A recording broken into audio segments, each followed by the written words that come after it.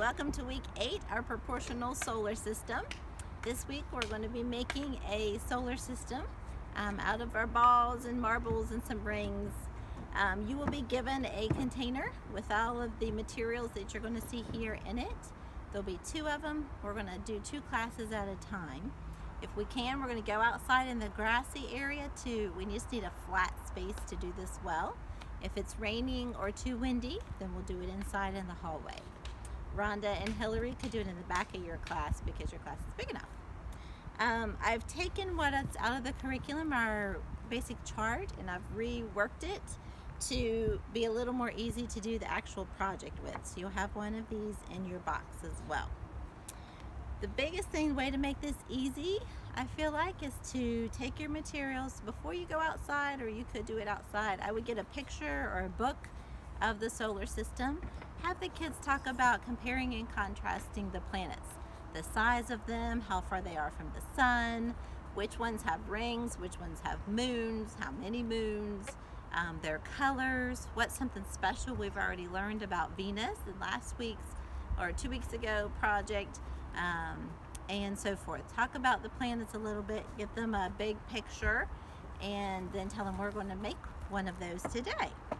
Then we're going to start, um, when you come outside, give each child, there's eight planets, and so give each child a planet, have them line up in order, and if you have a ninth student, then that could be your student who does the rings and the moons. So they would be in charge of the marbles and the wired rings. That way everybody has a part and it goes a lot smoother that way. Line up your tape measure. First of all, would go ahead and just pull it out and leave it extended. We have a 25 foot tape measure and I think a 40 foot tape measure. So the 25 foot one, um, just lay it out and then you'll go about not quite 200 inches past that. They'll just kind of guesstimate um, where Neptune is at the end. We start here at the beginning with the sun. So you have the sun, and that's where your tape measure starts. And then your chart tells you exactly how far to go from the sun to set each planet. So 5.8 inches, we have Mercury, which is our tiny little pink puffball, and then Venus, Earth, and then Mars. And so on your chart, it tells you which ball to use and how far to set it out from the sun you go on to each planet. Jupiter, you can walk this way so you can see it. Saturn, Uranus, and Neptune, clear down there at the end. And so it stretches out um, over 35 feet altogether.